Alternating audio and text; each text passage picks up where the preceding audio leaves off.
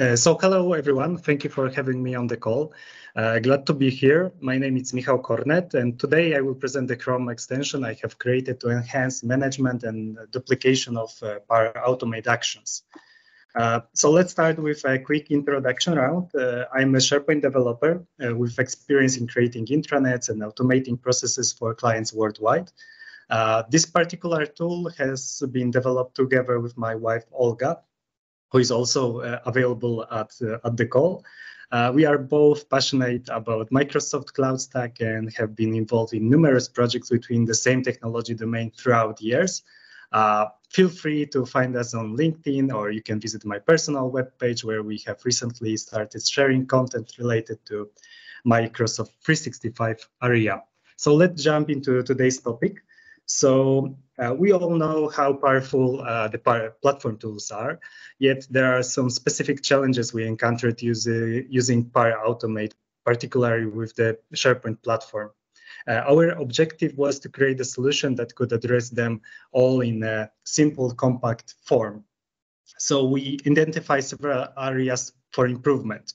For example, creation of missing uh, SharePoint HTTP requests let's imagine, for example, uh, mm, uh, search query post request, for example, or limited action portability. So it's not so easy to transfer data between different flows. Of course, we can uh, copy the whole flow, but it's not so easy to um, to copy only frag some fragments uh, between uh, between tenants, for example.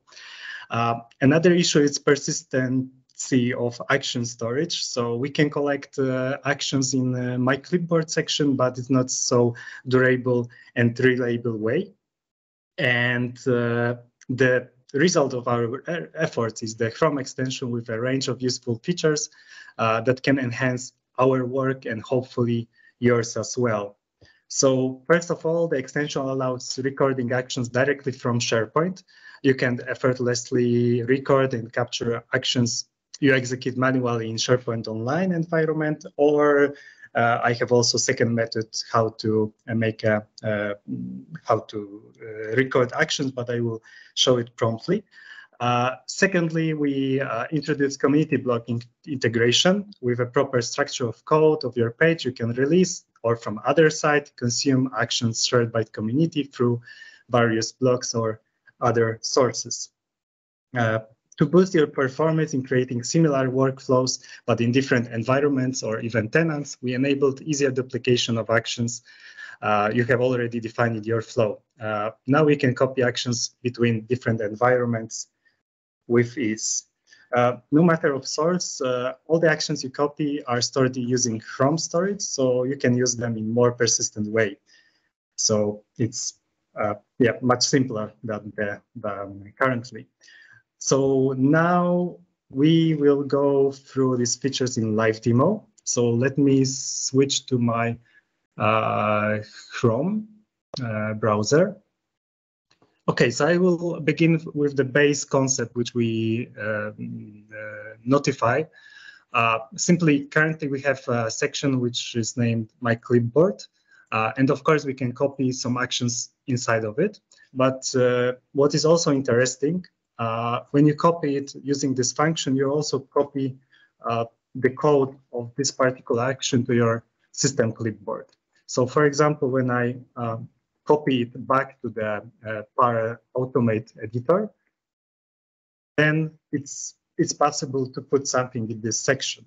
So having this uh, knowledge, uh, we build a solution, the Chrome extension, which can uh, simply uh, get the information from this section and put also uh, actions to, to this section of Power Automate editor. So uh, our tool is accessible from the toolbar of the Chrome. We are on the SharePoint page, so we can uh, we have button to start recording the actions. And simply what we can do, it's yeah, it's a simple refresh. And as you can see, we already have some uh, requests which are uh, added, uh, which are invoked by SharePoint on the background.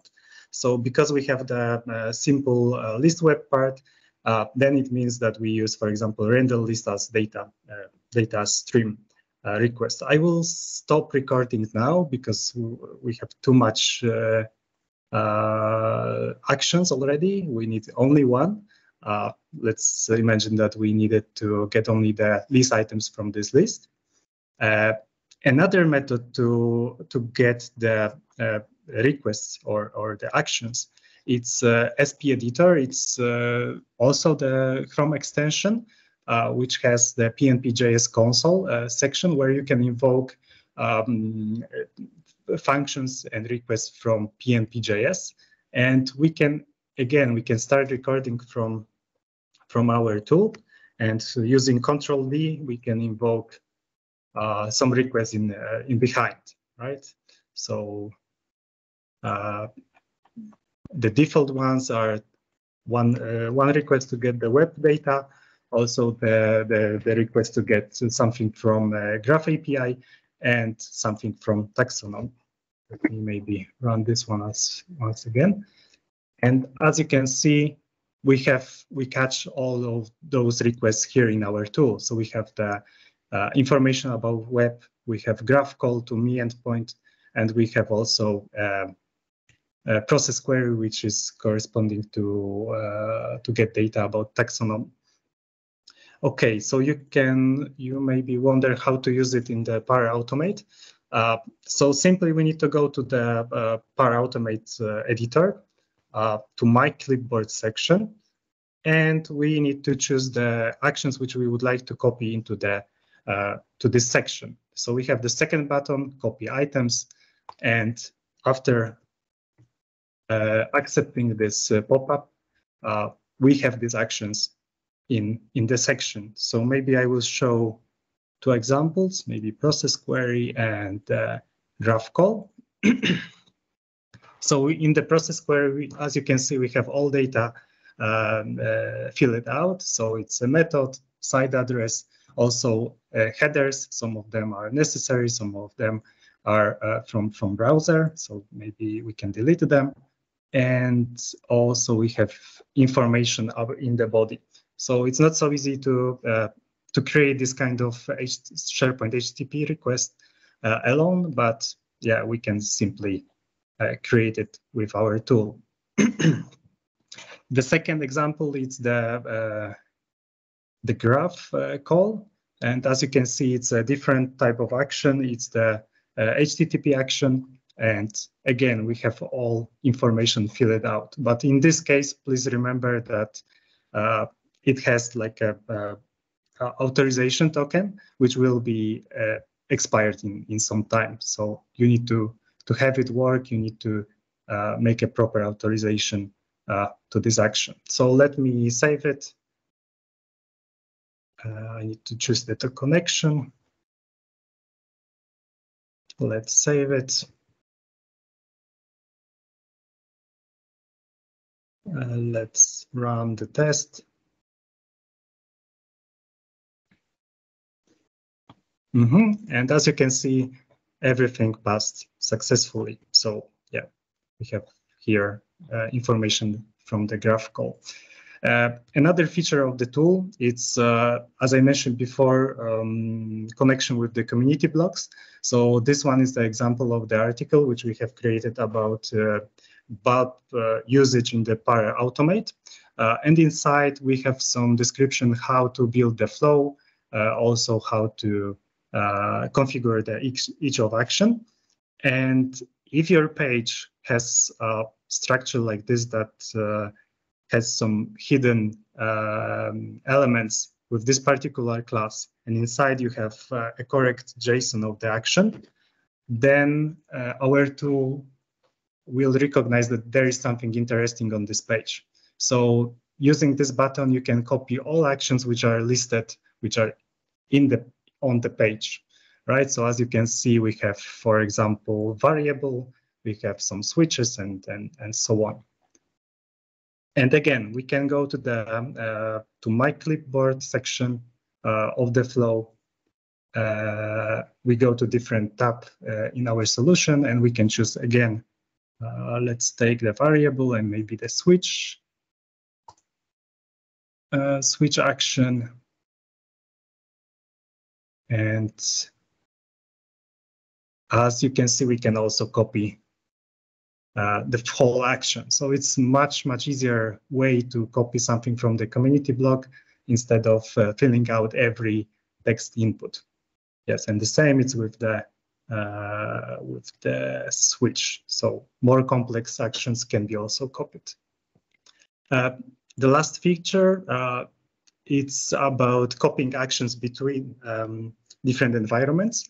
So because uh, we use the storage of the uh, Chrome extension of, of the Chrome, then we are able to, uh, you know, to, to create something on one flow. And maybe we, we would we don't want to copy the whole flow on different environment on tenant but we would like to copy only some of the actions. So then uh, when this clipboard action is open then we can go again to our solution let me clear this list. And we have the last button, get my clipboard actions.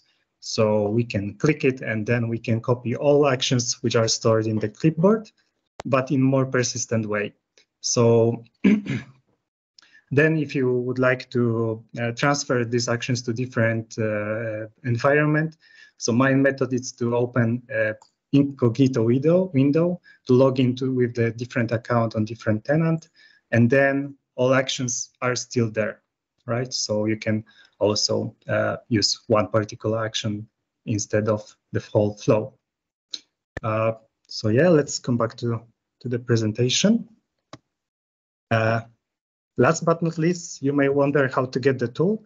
Uh, so good news, you can add it to your Chrome browser direct, directly from the store uh, or follow the guidelines on my uh, personal page. So it's available on uh, Chrome Web Store. Uh, you can simply install from here, or you can go uh, also to my GitHub account and uh, here the, uh, the code is stored so we can check it. Also, there is a description how, yeah, what features it has and also how to build a package manually and how to install it manually if you find uh, any issue issues, then please let me know. You can also put some comments into issues section. Uh, okay, so thank you for your attention. Of course, if you have some ideas or concepts, what can be added or improved to the tool, uh, I'm eager to listen to your feedback. So once again, reach me uh, on reach me out on uh, LinkedIn or GitHub, and uh, yeah, so that's all from my side. Big thank you for being here with me and see you around.